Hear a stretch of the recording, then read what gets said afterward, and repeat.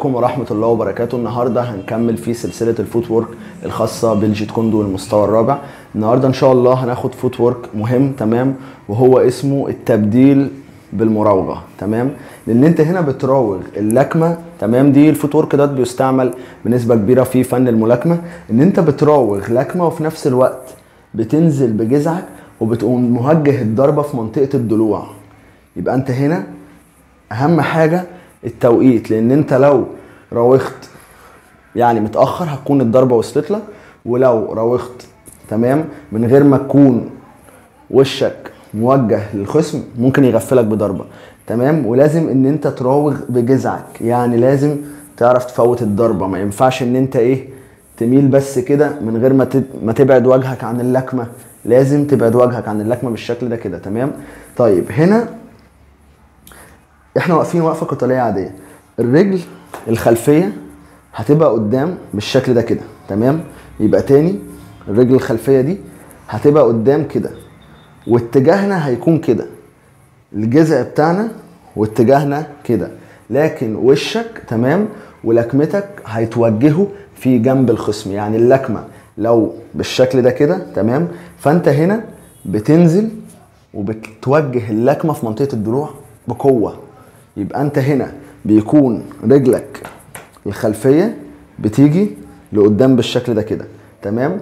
والرجل الخلفية بيترفع الكعب بتاعها يعني بتكون كده بترفع كعب رجلك وبتتني ركبتك عشان تقدر تنزل بمسافة كافية وتوجه الضربة بقوة تمام؟ يبقى بالشكل ده كده أهو أول مرة نعملها بالبطيء تعالى جوه شوية أهو بالشكل ده كده دلوقتي جاية لكمة مستقيمة فأنت أول حاجة بتبعد وشك مع خطوة القدم يبقى ما ينفعش ان انت تبعد وشك بالشكل ده كده ما ينفعش تعمل كده وتفضل واقف لأن انت هنا لما هتسدد ممكن لكمته توصل لك ممكن يضرب ظهر قبضة ممكن يعمل أي حاجة.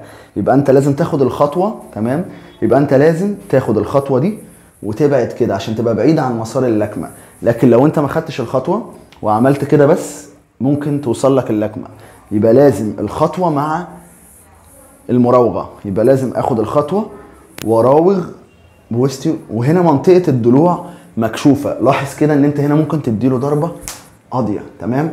يبقى بالشكل طبعا إحنا هنا عملناها عند الدراع لكن هي طبعا بتسدد في منطقة الضلوع لكن ما ينفعش إن أنا أسدد عليه ضربة زي دي عشان المنطقة دي بتبقى من المناطق الضعيفة. يبقى أنت أهم حاجة تكون نازل بجذعك واخد الخطوة وضارب بقوة زي ما حضراتكم شايفين. يبقى تاني بالبطيء أهو. أول حاجة أنت واقف بالشكل ده كده تمام؟ تاني أهو. تاني أهو. تنزل وبتاخد الخطوة. لاحظ؟ تنزل وبتاخد الخطوة. وبتتني ركبتك الخلفية وبتسدد لكمة بقوة في منطقة الضلوع. يبقى تاني؟ أهو. لاحظ إن بننزل وإحنا بنتحرك. يعني ما بنزلش بجذعي كده ولا بالوجه بالشكل ده كده غير مع حركة القدم بالشكل ده كده. وطبعا لازم تكون في توقيت مناسب لأن أنت لو نزلت وهو لسه مقفل على منطقة الضلوع بالشكل ده كده هيبقى أنت يعني تقدمت يعني إن أنت رحت أسرع منه. فأنت لازم ما ينفعش تاخد الخطوة قبل منه. لازم يكون توقيت مناسب مع اللكمة. يعني الاثنين يكونوا في وقت مناسب عشان تلاقي المنطقة دي مكشوفة تسدد الضربة. لكن أنت لو هو لسه واقف بالشكل ده كده وحاولت إن أنت تسبقه وعملت كده طب هو هنا قافل على منطقة الضلوع. فأنت هنا مفيش مكان أو مجال إن أنت تسيب المنطقة دي. يبقى لازم التوقيت الفوت وورك ده بيعتمد على التوقيت. تمام؟ يبقى بالشكل ده كده. أهو. تمام؟ تاني. أهو. تمام نزلت بالجذع وهنا بقت المنطقة دي مكشوفة. وكعب رجلك بتخش بقى بزاوية كده.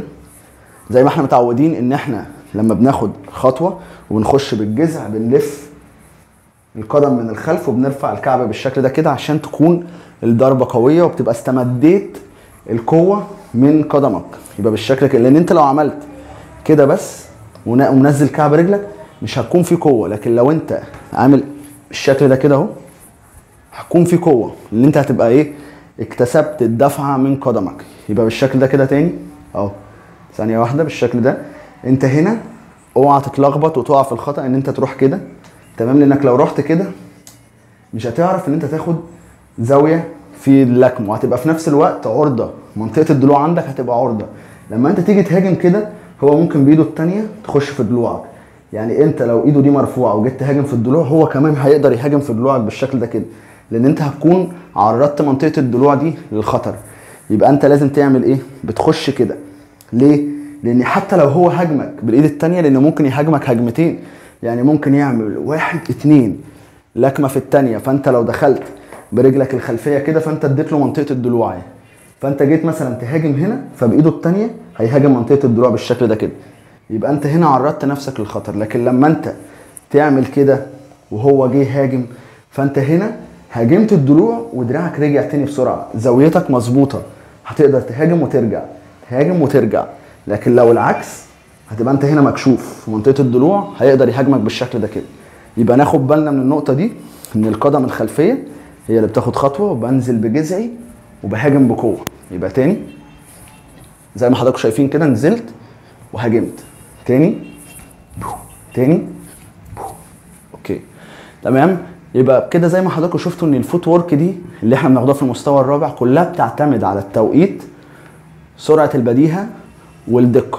تكون دقيق في مكان الهدف ما تخطئش فيها لأن أقل خطأ في ال footwork المستوى المتقدم ده هيعرضك أنت للإصابة مش الخصم. تمام؟ وبكده انتهت حلقة النهارده. ويا رب تكونوا استفدتوا وما تنسوش تعملوا اشتراك في القناة وفعل الجرس و like و share الفيديو وأشوفكم الحلقة الجاية إن شاء الله.